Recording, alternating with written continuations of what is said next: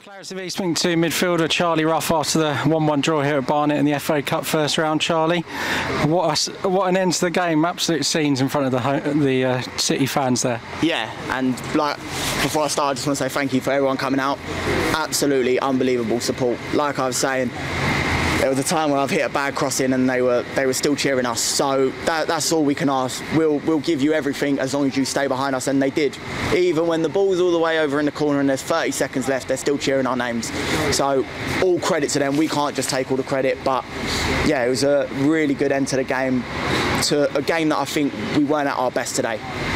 And uh, going back to the first half, we were probably had the better chances there. Laurie Walker's had to put off a, a save, Ovie's had to put off one, but probably disappointed we didn't go in front um, at the break. Yeah, definitely. Uh, look, we did have chances, and we will have chances because the sort of team we are and the way we play.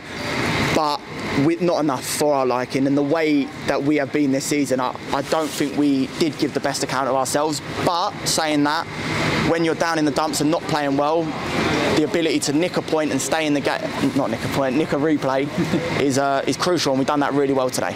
And, and they went one 0 up early in the in the second half, bit of a blow early on in that half, but we had a lot of time to come back into it. Yeah, but I don't think we. I can only think of Simeon's. That's the only chance I really think that we created, and uh, I thought I thought they controlled the tempo really well. They made us work hard, but like you say, we stay in the game, stay in the game, keep plugging away. Don't believe that the game's over, and you'll get your chance. And we did. And uh, Ovie's been called into action quite a lot in the second half. There, kept us in it. Did you feel that Barnet maybe getting a bit complacent in the one 0 and we all we needed was one chance at the other end? To be honest, I thought they were very professional. Uh, to, on the pitch, I thought they showed a very professional performance, and I think I just never say die attitude and willing to run and work hard. I think that got us through. But yeah, no, I, I, don't think they were complacent. I think they, they were very professional and they, they were switched on and we were just lucky to get to get a goal today. On another day it could have bounced over the bar or the keeper saved it, but yeah, it was good.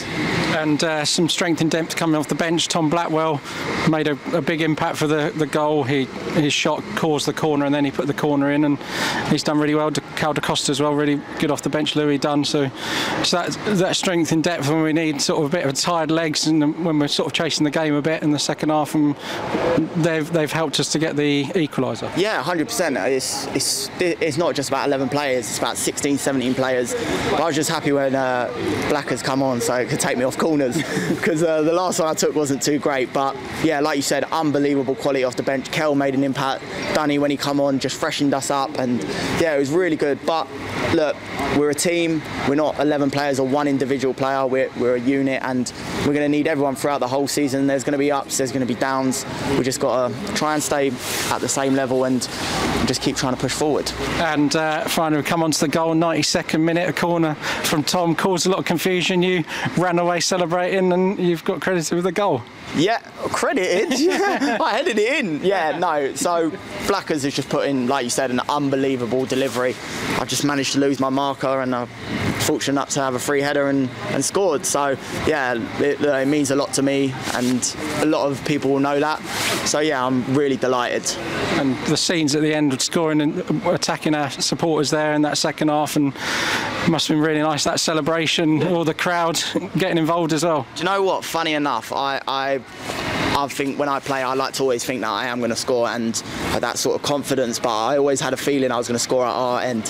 So when it was in the first half, I wasn't too bothered. I didn't think I was going to score down there, but I've, i did think I'd get a chance down our end in front of our fans. Just happy I could take it.